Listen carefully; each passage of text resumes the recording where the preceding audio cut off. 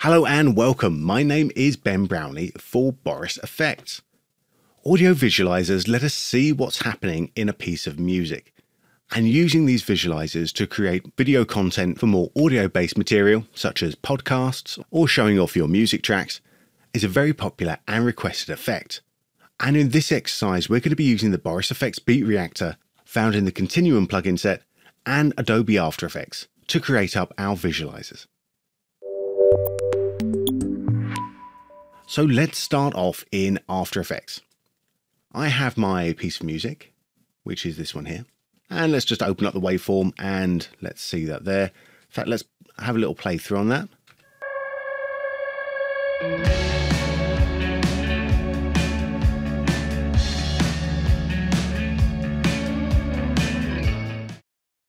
It's a nice piece of music to use for this example because it uses a variety of different frequencies that are going to show up quite nicely. But of course, this could be any music at all, or even spoken word. So the first thing to do is create a new solid that we're going to put our beat reactor effect on. And I will call this solid beat reactor. And it's going to be the comp size for now. Hit OK. And let's come up now and add our beat reactor effect. The beat reactor filter is found in the BCC time category but the Beat Reactor itself is a module that's included in a lot of other Continuum filters. This means once you learn how to use the Beat Reactor once, you can use it wherever you want to. And we have a separate tutorial all about the Beat Reactor if you want to take a look at that. But for now, I'm just going to add the Beat Reactor effect to my solid, and let's come over to the effect controls. So the first thing I have to do is choose a host layer. This is what the Beat Reactor is going to be looking at. And this is going to be the Get Up AIF. And this is what it gives us. Hang on, let's uh, just turn off the music for now, just so we can see what that's going to be looking like. There we go. So we have our bass frequencies at the left-hand side, mids in the middle, and our treble over on the right. And they're all different colors here. Lovely. And if we go up to channel, we can look at the left channel only, the right channel only, or a mix of both channels. And in this case, I don't think we're going to have too big a difference between these two, so I think I'm just going to stick with mixed. If we open up the audio spectrum options, we can check out the frequency resolution here. Now, this is looking pretty cool. Uh, it gives us a, a variety of, of frequencies, and this might actually be all you need, depending on the effect that you want. But we could take this frequency all the way up to 1028. So we get a much smoother set of frequencies here. It also takes a little bit longer to render this out. So we're smoothing those away.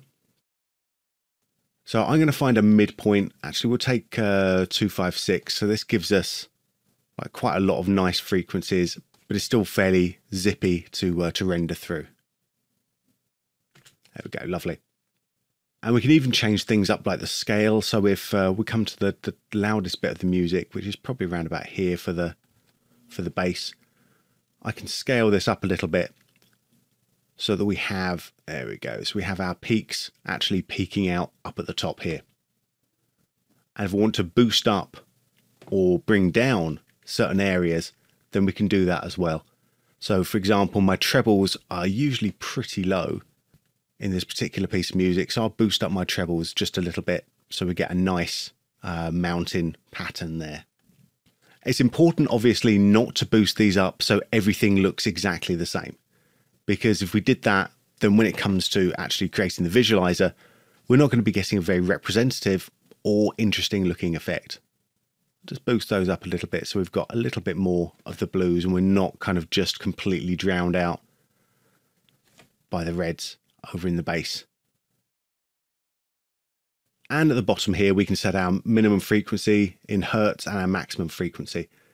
If you're working with music, this maximum frequency can often go up a lot higher because when this is mixed, they're generally mixed with a, a greater frequency range in mind. If we're dealing with something like the spoken word, so if you're just doing a visualizer for a podcast or a telephone call or something like that, then we can take our maximum and minimum frequencies down and really sort of compress the frequency ranges that we're looking at. So probably something between, you know, maybe 200 and 2000, something like that. We also have smoothness. So we can smooth these out. Take the smoothness too far up, we get more a, uh, a sort of tiny hill than a series of mountains. And if we take the smoothness all the way down to zero, we get very narrow peaks. So I think there's a, there's a nice happy medium to, to be found here somewhere. Because we're working at quite a fine frequency resolution, the 256, I'm going to keep my smoothness down to, to 2 here. I think that's going to be just fine. Now, usually when you're using Beat Reactor, you're using it to drive other effects. So this is why we have our sampler here. So we, we can sort of choose what effects that we're looking at. And if you see over on the right hand side, this is going to show us a, a bar graph or a meter of how much of this area is filled up. So if we bring this somewhere around about here and watch that play through, you can see when it's not got anything filled in it, the uh, the meter has nothing in there, and when it's pretty much filled, it goes all the way to the top. So this is how we use Beat Reactor to drive other effects, using things like the uh, effect output. I'm not going to worry about any of this stuff because this isn't how we're going to be using Beat Reactor in this example. And in fact, we're going to use this graph itself to either be our visualizer or to be an important part of the visualizer later. So having this sampler visible is actually going to be a bad thing for us. So what I'm going to do is just drag this off to the side so we can't see it. Cool, so let's play that back with the music.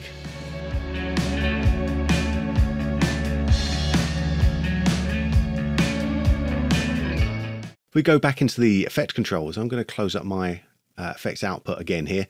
The only other thing you might want to be aware of is the delay in seconds here. Now, sometimes you might want a bit of a delay happening between your uh, actual music and the beat reactor, and you can set it up here. You can also set it up here if you're getting a lag for some reason. So if your visualizer isn't actually matching what's going on in the music, check it out over a few seconds, make sure that's uh, that it's working right. And if it's not, you can set up the delay right here. You can see the, the drums are actually going in time properly so everything's looking good.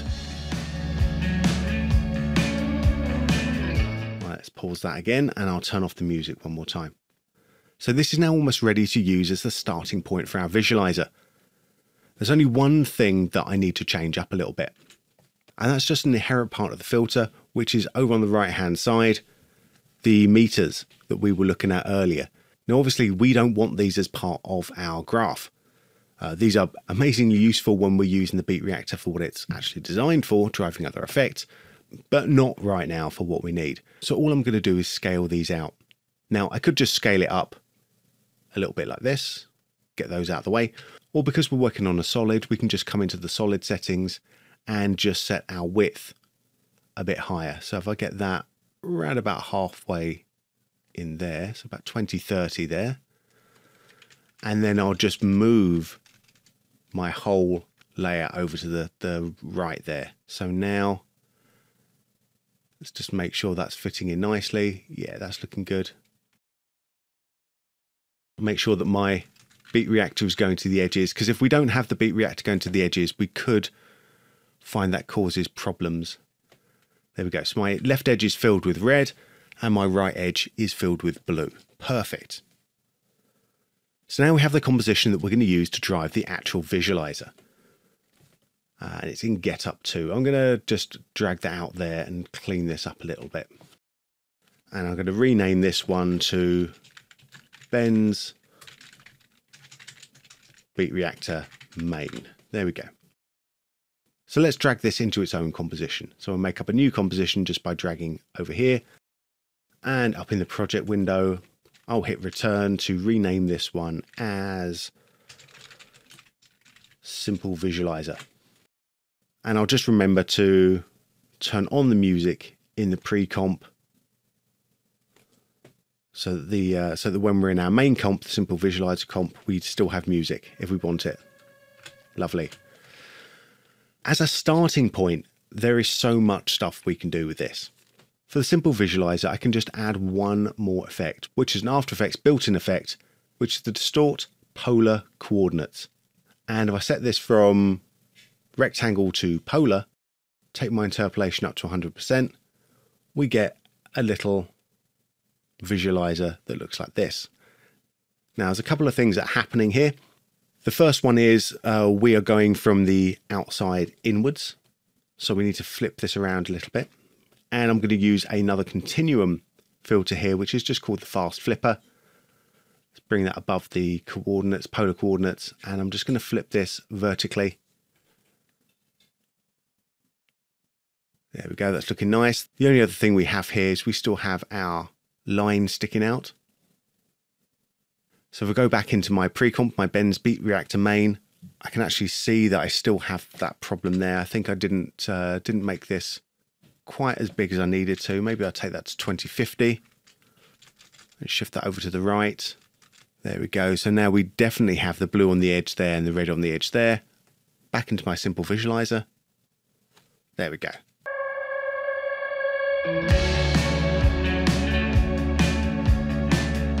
And we have quite an interesting little effect going on there. It's quite nice. And there's other things we can do to twiddle about with this a little bit. You know, the simplest thing is I can just put a, uh, a huge glow in here. Uh, this is just the, the fast film glow that I had floating around.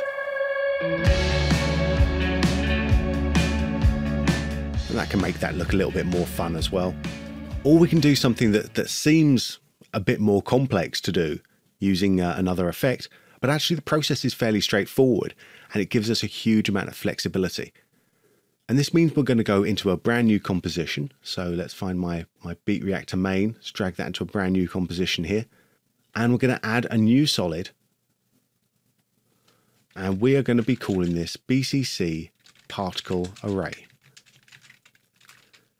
And we're going to come up into my effects go to BCC Particles and go Particle Array 3D.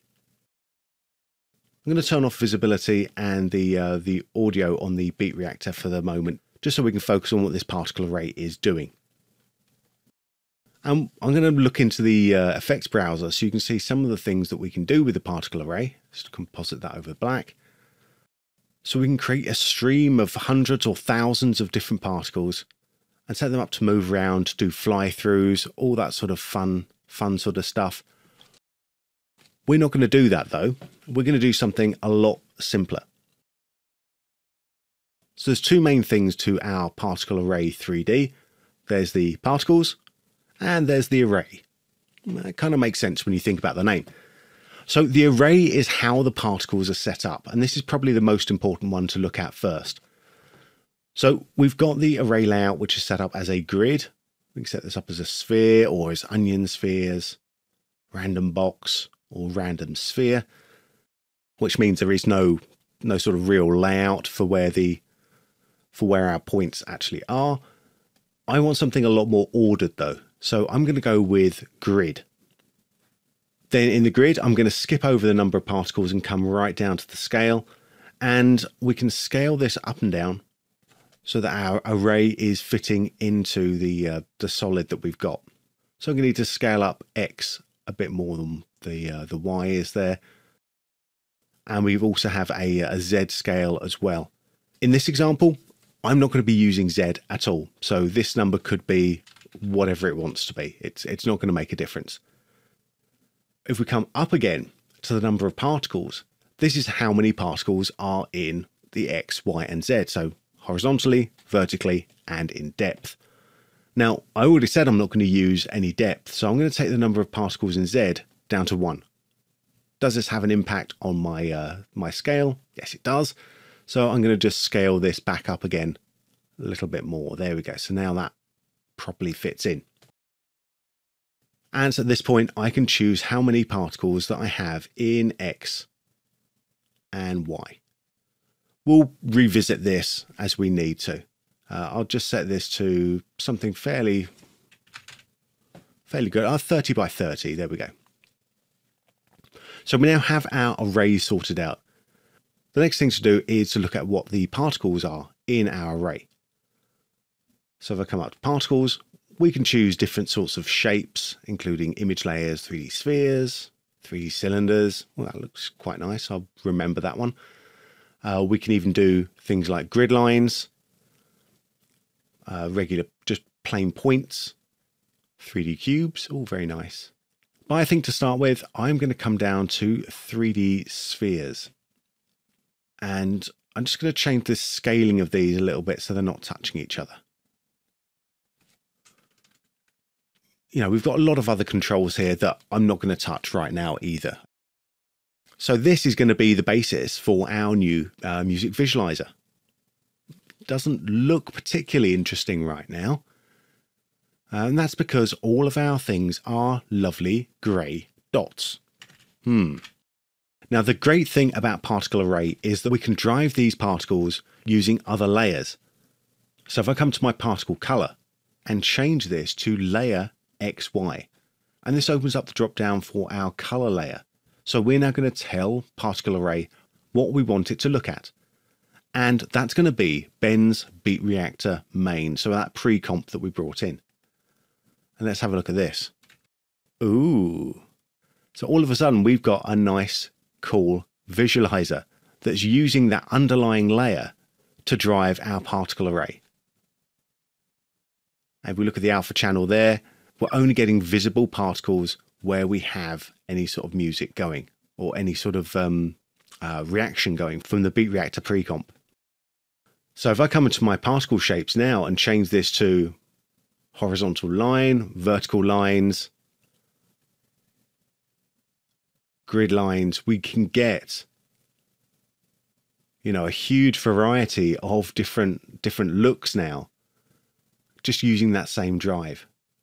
Uh, I might stick with the well, 3D planes is is pretty classic. I might just stick with the 3D discs though.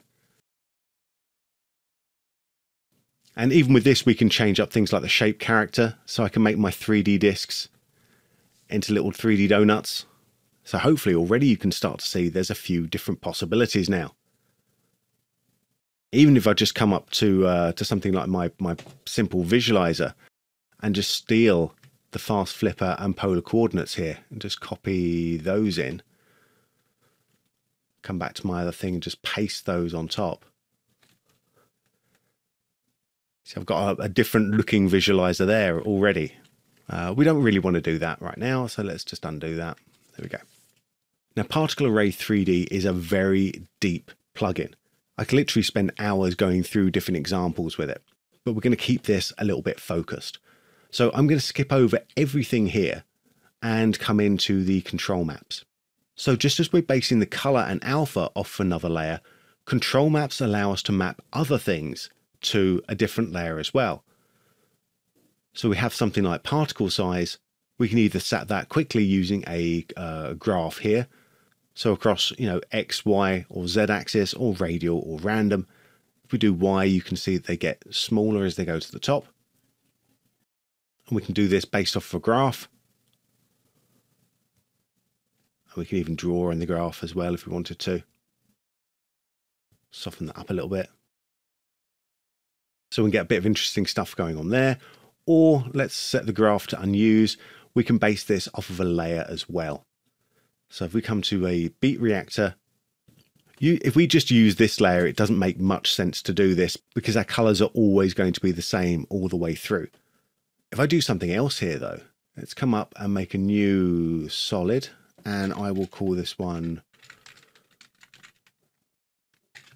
random clouds. I'll add another effect here, maybe something like uh, go into the BCC textures. I could do something like clouds or fractal noise, and we'll come to something like noise map 2. This is always a bit interesting. Uh, and let's choose oil slick. This just gives us kind of random motion going all the way through. We're not going too too dark on this. So let's bring the reference level up just slightly. There we go. Cool. And let's bring that down to the bottom, turn it off, come back into our particle array, and now base the size off of the random clouds. Now, because we've applied effect to this layer, if we don't go to uh, effects and masks, then After Effects is just going to look at the source clip, and the source clip is just a black solid, so it's not going to do anything. If we go to effect and masks, this gives us a little bit of life of the uh, as the particles sort of pop in and out of size, which is which is kind of fun. So control maps are always quite interesting to use. Now, if we look at the bottom here, Particle Array has Beat Reactor built into it. And with this Beat Reactor, we can be controlling things with a uh, with a sound layer, just as we did in the regular Beat Reactor. And we can be choosing to affect lots of different parameters. We're not going to look at this in this particular exercise. This, uh, I think we'll have to save that for another time because this is a, a big rabbit hole to go down. So I'm going to turn off Beat Reactor at the bottom. So let's let's uh, remind ourselves where we are. So we've got our particle array being driven by the beat reactor colors, and we also have the random clouds moving through, just giving them some sort of uh, you know some sort of extra life to it. This is looking good. Now we've we've got the building blocks in place, and I'm going to pre-comp this one more time. And the reason for all these pre-comps is that it actually makes our job a lot easier when it comes to uh, replacing this music with something else. So it means we can build this project once and then very, very quickly swap out the music and everything else kind of updates in process. I'm just going to come in and rename this one to uh, Ben Particle Array Donuts and let's put this into a new composition. Could do that just by regular pre-comping, but you know, while we're up here, we might as well. And we're going to call this one 3D Visualizer 1. So let's start to do something else with this. And I'm just going to apply layer deformer to my particle array donuts. And this becomes just a nice grey plane. Lovely. Uh, I don't want this to be a grey plane. I want this to be a grey sphere. In fact, I don't really want this to become a grey sphere at all. So I'm going to come down to my material options. And for my front texture layer, I'm just going to set this from none to Ben particle array donuts. Now I have my visualizer as a 3D sphere. How do I know this is a 3D sphere? Well, let's find somewhere where we've got a lot of uh, visualization. There we go. I can come into my uh, my built-in camera here. I'm going to change my camera to an orbit and I can just spin around my 3D sphere here. Lovely. Uh, I can even tilt it up and down even nicer. We're going to revisit this, but I need to revisit this when it's not on a black background because we're now at a stage where we want to start to visualize what is actually going on with this a bit uh, in a bit more detail. So let's create up a new background, uh, new layer, new solid, um, and we will just call this one background. And I'll make this the comp size. It doesn't matter what color we make this because I'm going to immediately change that color using generate beam. I'm going to use beam as a, a sort of alternative way of getting a, a multi-color gradient. So I'm going to set my length to 100 so the beam stretches all the way out. I'm going to move my beam all the way to the left and the right here. Probably move this down again in a little bit. And I'm going to make my thickness, my start thickness and my end thickness very thick indeed. So around about say 780 on both of those. And I'll change my inside color to a just a regular white, maybe, maybe a slightly tinted, tiny, tiny bit of saturation on a, uh, a cyan. And I'll make my outside color kind of a gray there. Don't want that to drop off quite as much there. So I'm going to make this uh, bigger. And let's bring this down both on the left and on the right. So it gives us a background now that looks like it's it's got some nice bit of fall off. Uh, I might make that even, even bigger. Yeah, that's looking all right. Cool. And let's bring that down underneath. And we can start to do something with our, with our donuts again. Okay, so it's, it's looking a little bit dark. And the reason it's looking a little bit dark is because, as we said, it is a, a 3D object now that's going to need a little bit of lighting. So let's turn up the uh, material. Let's have a look at the built-in light that we have here. Uh, we have a point light,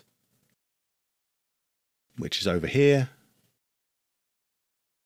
You can see that just there, so I can drag that around, be relighting stuff.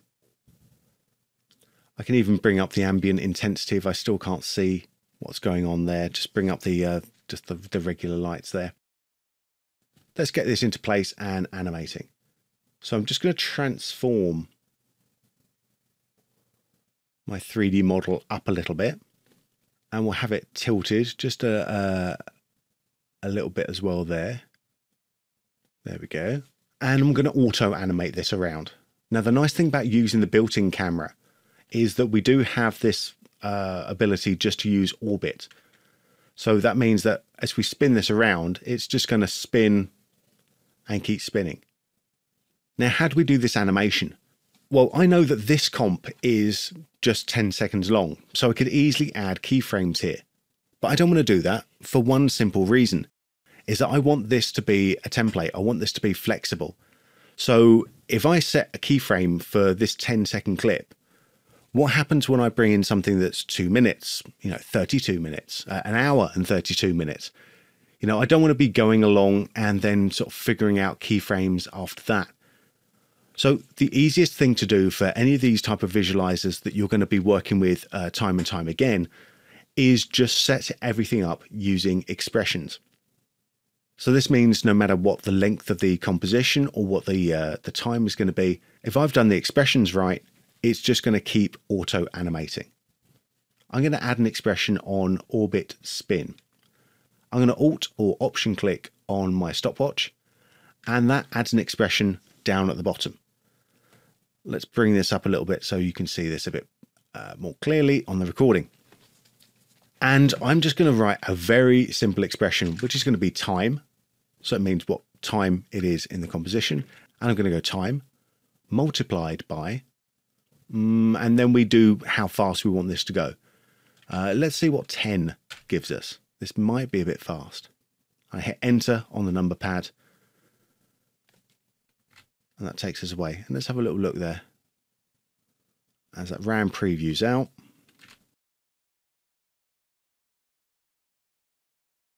I actually think that's looking all right. Let's do time multiplied by 15. And I think that's better. I think that's better. So we're going to do that. I'm a little bit concerned that when the sphere is rotated, so we all we can see is the back of it, is that it's not lit up very nicely. So I'm going to come up to the top here and turn on use built-in light 2. Um, if we had comp lights set up in our composition, we could use those as well. But we don't, so we can't. Uh, so all I'm going to do here is I've got my second light. I'm going to bring this over here somewhere so we can see that. And I'm just going to change up the uh, the light Z so that it's a little bit further to the back. I'll even turn up the intensity so we can see that a bit better as well. That's that looks pretty good.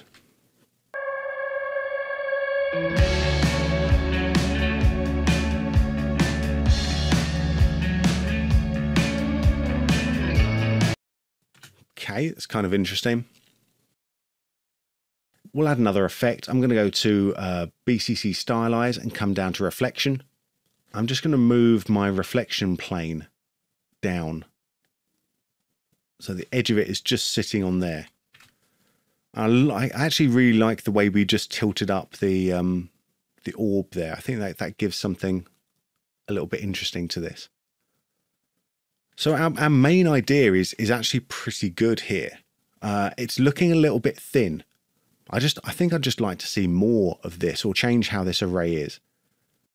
Let's do that. And I'm going to go up to my composition up here, click on the thing that says 3D Visualizer, the name of our comp, and I'm going to go New Comp Viewer. So it means we always have this comp visible over on the right hand side. That's where the comp is with the lock. And I'm going to come into my pre-comp the particle array donuts over here. And let's change this up. I'm going to come into my particles and I change up the size. So now they're a bit bigger. I'm going to change up in the array, I'm going to change up the number in X so they're a little bit closer together. Maybe take the number down in Y so they're not clashing.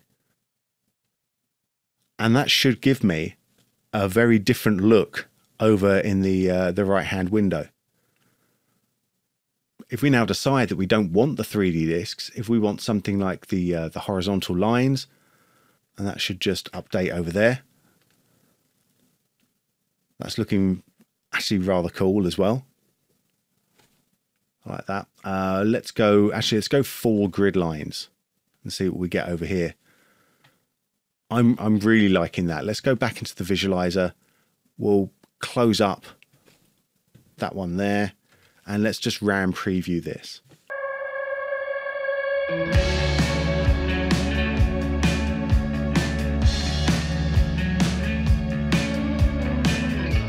I think this is looking actually really quite interesting. I, I, like I like the effect that we're getting here. And we can keep adding stuff to this and, and changing it up how you like. But I think this gives us the, you know, the, the right idea, the core of, uh, of where we can start going. So starting with just a very simple use of the continuum beat reactor and then plugging that into the uh, continuum particle array 3D even though we're not using the 3D capabilities of this particular particle array for this, we're getting this kind of uh, really interesting, kind of cool result. And then plugging that into the layer deformer to give us a sphere that we can control either with After Effects cameras and lights or the built-in camera and light system. And because we just want a simple orbit on this, the orbiting camera that's built into that effect has been absolutely perfect for us. I hope you've learned something here, and I also hope you can see that how we can use these same basic techniques and how easy it is just to tweak up a few things and create some very different looking visualizers using the same basic setup. If you create something interesting with Beat Reactor, be sure to drop us a link in the comments. Now the idea for this tutorial came from a previous YouTube commenter, so if you have any questions or ideas about future tutorials or an effect that you'd like to see, then just drop us a line as well. But for now, my name is Ben Brownlee for Boris FX, and I'll see you again in another tutorial soon. Thanks for watching. To learn more about the Continuum Beat Reactor, Boris FX Continuum, and to download a free trial, be sure to head over to the Boris FX website, where you can find all the latest news, events, tutorials, and much, much more, all at borisfx.com.